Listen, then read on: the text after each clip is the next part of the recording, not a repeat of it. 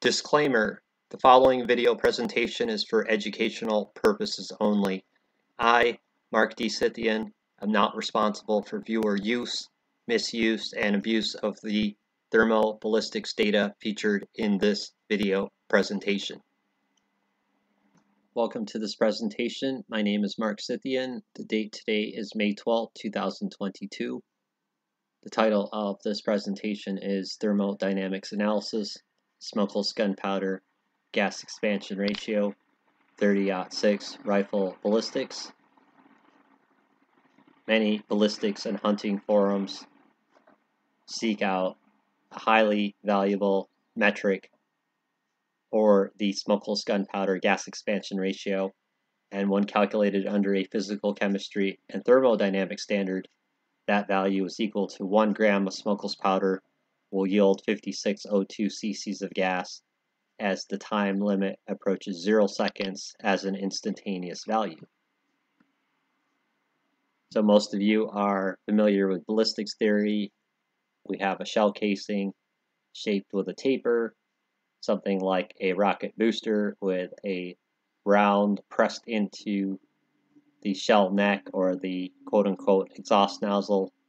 And when you pull the trigger, the firing pin then impacts the sodium azide primer, which then converts the solid gunpowder into a pure gas through exothermic sublimation reaction, which then yields a pressure spike behind the bullet backing to then force the bullet out of the shell neck, maintaining the gas pressurization of the barrel.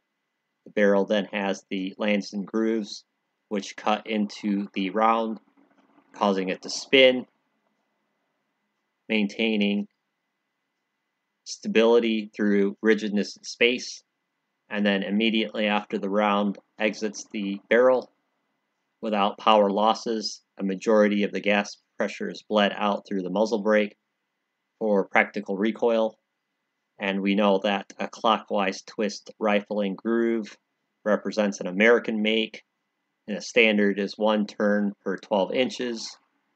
The optimized barrel length for a 30-06 rifle is 24 inches, for which the bullet will accelerate from rest to 3,000 feet per second over a two-foot barrel distance. So by the time the bullet exits the barrel, it is traveling at 3,000 feet per second, then subject to the gravitational vector resulting in a parabolic path of travel. The calculations which support the 1 to 5602 gas expansion ratio for smokeless gunpowder are as follows. We have a smokeless gunpowder energy density of 1853 BTUs per pound when calculated from 4,300 kilojoules per kilogram, and that has a flame front of approximately 25,000 feet per second. One grain mass is equal to 64.8 milligrams, therefore, one grain is equal to this pound value and this mass kilograms value. We are using 30-06 ammunition with a specifications of 150 grain bullet charged with 68.2 grain smokeless gunpowder. We have a bullet acceleration time of 2 feet divided into 3,000 or 0.00066 seconds. We have a bullet acceleration or D divided into time squared of 2 feet converted into meters then divided into the acceleration time squared which yields 1,399,807.4 meters per second squared. Force is equal to mass times acceleration, therefore the pounds force accelerating bullet within barrel is equal to 150 grain bullet converted into kilograms mass from the value previously calculated, then multiply times the acceleration meters per second squared to yield newton's force where 4.5 4.45 newtons is equal to 1 pound force, so there's 3,061.2 pounds of force accelerating the bullet over a time period of 0.00066 seconds. Hence, we need the muzzle brake to dissipate a majority of the gas pressure without power loss to the bullet as the bullet exits the barrel, a majority of the recoil force is dissipated out, resulting in a manageable recoil, made possible through the muzzle brake, also known as the compensator or the recoil dissipator. Next, we have the barrel pressure force divided by cross-sectional area. So the caliber is the bullet diameter, so 0.3 inch diameter divided by 2 radius squared times pi is the cross-sectional area in square inches. So we take then the 3061.2 pounds force divided into cross-sectional area in square inches to yield 43,307 pounds per square inch gauge pressure over a time period of 0.00066 seconds. Next is the ballistic power, and remember power is equal to force times distance divided by time.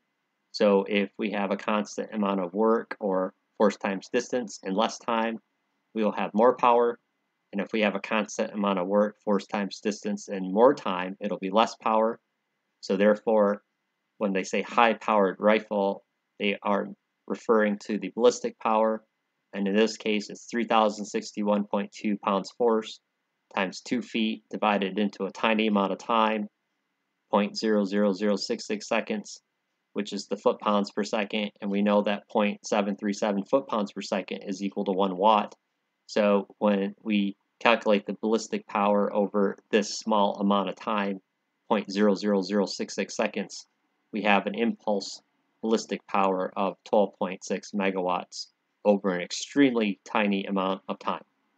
So Mechanical watts refers to the kinetic energy or the force times distance work, then divided by time, and then converted into watts by dividing it into 0.737.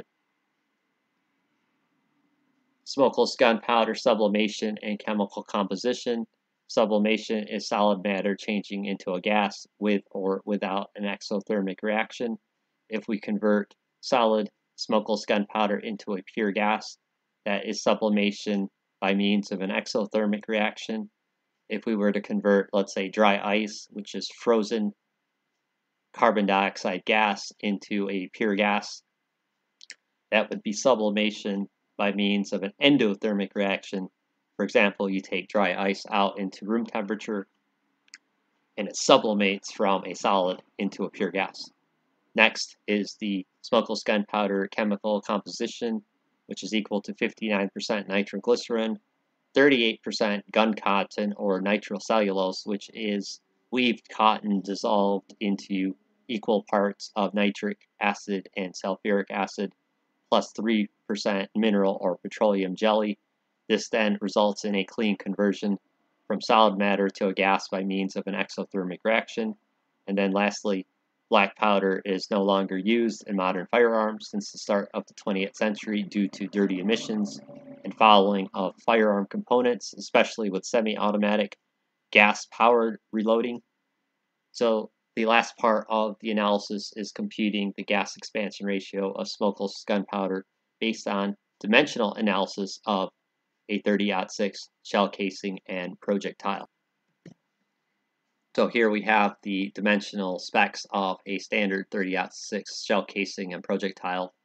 We first have to compute the cross-sectional area of the primary shell section and the step-down pressure shell casing neck cross-sectional area. So we do so here on these two.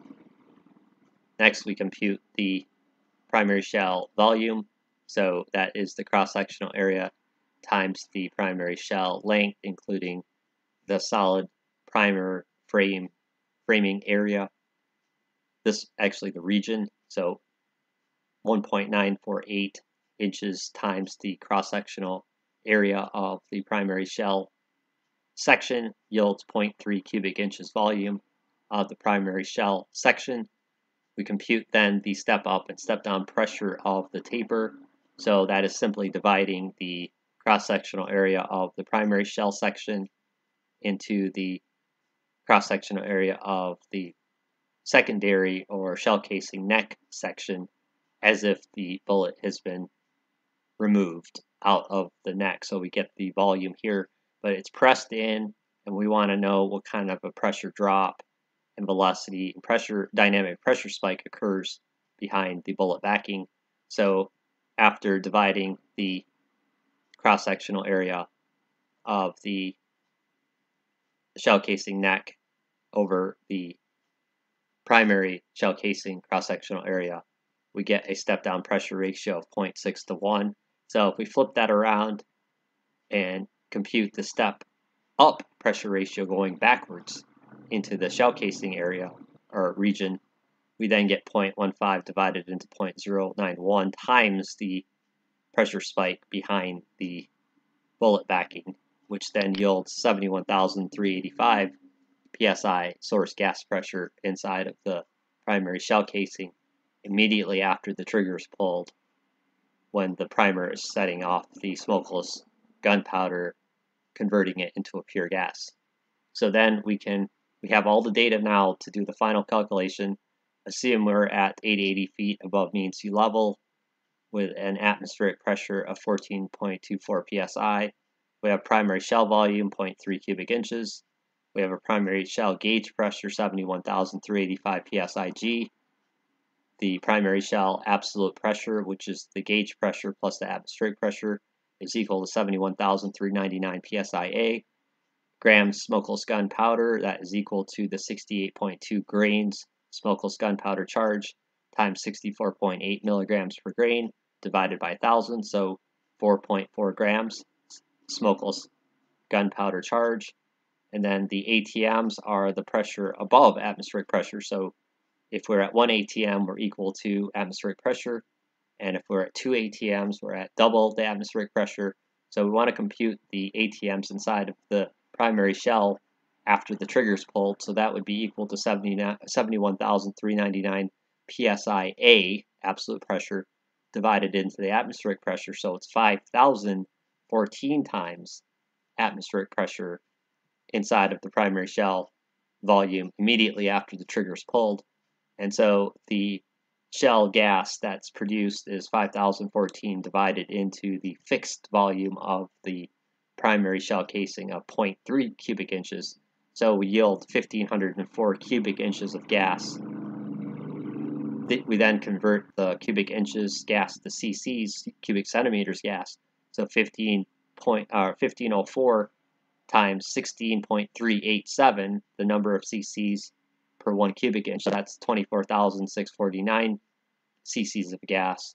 And then we compute finally the cc's gas per gram smokeless gunpowder, and that's 24,649 cc's of gas divided by 4.4 grams of smokeless gunpowder to then yield 5,602 cc's of gas per one gram of smokeless gunpowder. So the conclusion is smokeless gunpowder gas expansion ratio is equal to one gram of smokeless gunpowder will yield 5602 cc's of gas immediately after the trigger is pulled at a time limit approaching zero seconds as an instantaneous value.